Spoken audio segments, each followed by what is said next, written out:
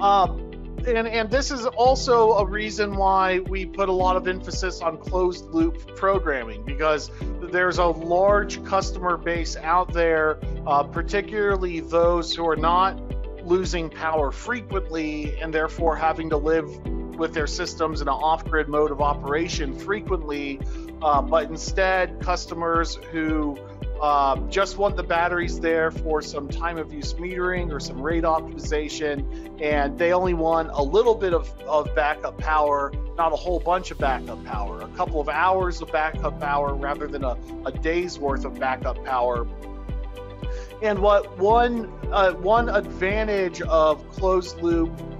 uh, communication is that normally in our example, if you take a 60 amp hour battery and the inverter is capable of drawing you know 156 amps out of it, then you would need three of these batteries to stay within the spec of the battery inverter. Uh, but in our, our first kind of introduction class, we mentioned that actually lithium ion batteries are capable of a faster rate of charge, faster rate of discharge. Uh, the problem is if you don't watch your cell voltages closely during those times, then it, it, it can result in a, a, lower life for the battery bank. You go and read through our product warranties, it shows if you run the battery in a, a harder mode of operation, it can diminish the cycle life uh, of the battery. Um, and so if you are just taking a, a random battery off the shelf and a random inverter off the shelf, and you're doing all of the controls based on the battery voltage, and the, the inverter is reading the battery voltage off the battery terminals and uh, doing its charge and discharge settings based off of that. That's what we call open loop. And uh, to some extent, that is less controlled than if the computer on if the battery has a computer and it talks directly to uh, the the inverter. And so here we have an example of closed loop where for this particular uh, inverter uh, manufacturer, they have a, a BMS setting.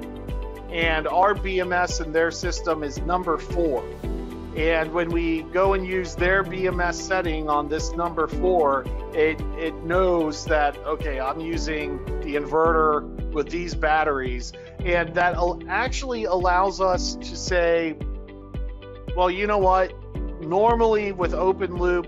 we need three of these batteries. Uh, but since it's using closed loop communication, we can do two of these batteries. And so if you're trying to design a system to have the, the least amount of storage capacity possible, which would imply, you know, uh, uh, the least amount of project cost uh, possible, you know, selecting a, a closed loop inverter uh, with one of our batteries, and, and right now Sol-Ark with the eFlex is what we're furthest ahead on, uh, can can diminish the minimum battery size. So what I would say is is if you're used to you know installing three eFlexes with an eight kilowatt battery inverter, you know from time to time check up on our status of closed loop because you might find that the smallest uh, warrantable battery uh, for your your design has shrunk uh, as we get more closed loop communication